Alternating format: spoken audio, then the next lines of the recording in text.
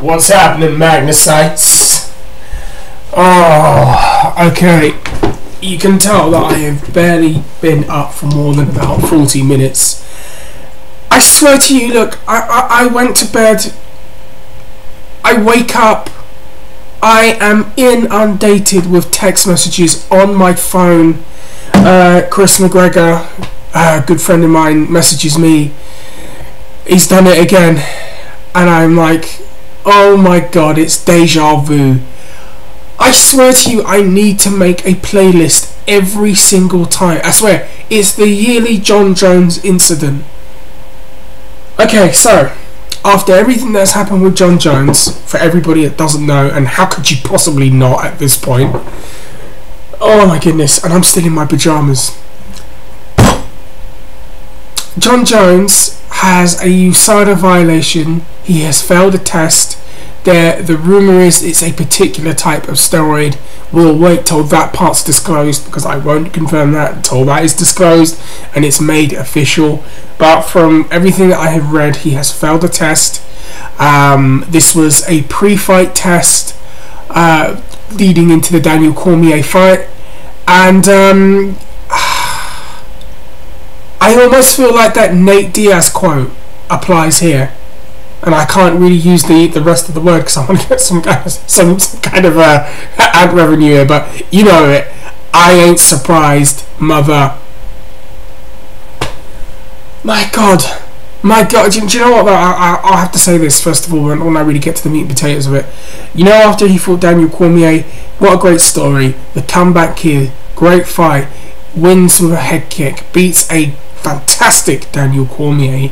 Um, does a great post-fight interview, gets everyone excited for a fight with him and Brock Lesnar, publicly kind of being a little bit more humble towards Daniel Cormier, and you know trying to squash that that beef as much as best he can. All of that, and I do remember a friend of mine saying to me, and it was it was a friend of mine called Matthias, saying to me, "We'll see in two weeks. We'll see what happens in two weeks." And you know what?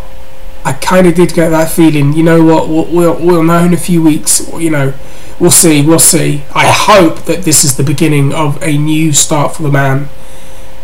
And then I will go to bed and I wake up and it's the same thing.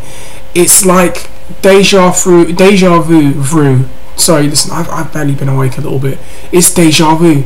It's like last year with UFC 200, and there was that failure there and the year before that, how many incidents were there? There was the um, the cocaine situation. There was the hit and run situation uh, after that. Um, it just it just gets ridiculous with this guy. It, my goodness. I let me have a sip of my water. I'm sorry. You get these with the Tesco meal deal, by the way. That's because I'm that cheap. But hold on.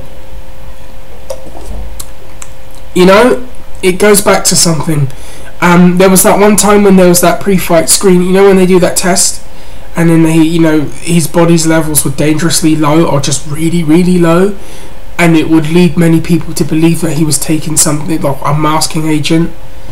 At this point, I'm just I don't want to have my intelligence insulted.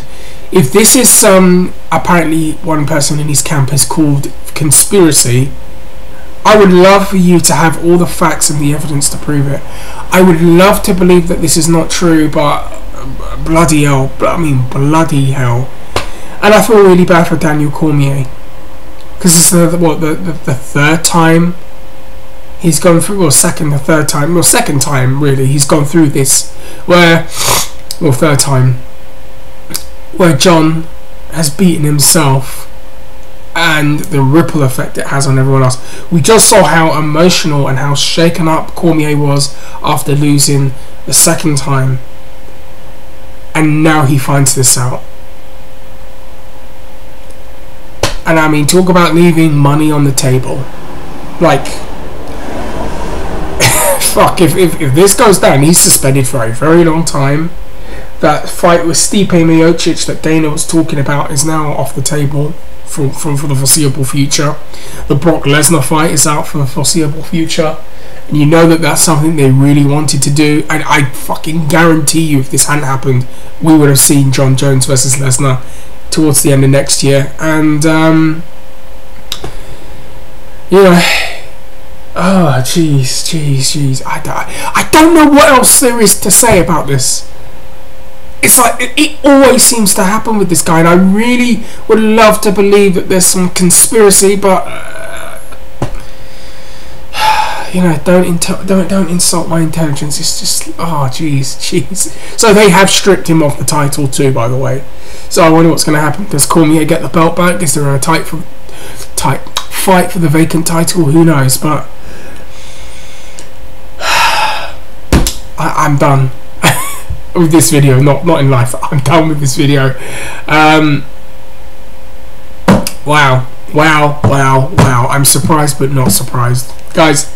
Take care. Comment down below. Let me know what you think of this Jon Jones incident. Let me know. Fuck it, but this is crazy. This is absolutely crazy. Let me know what you guys think.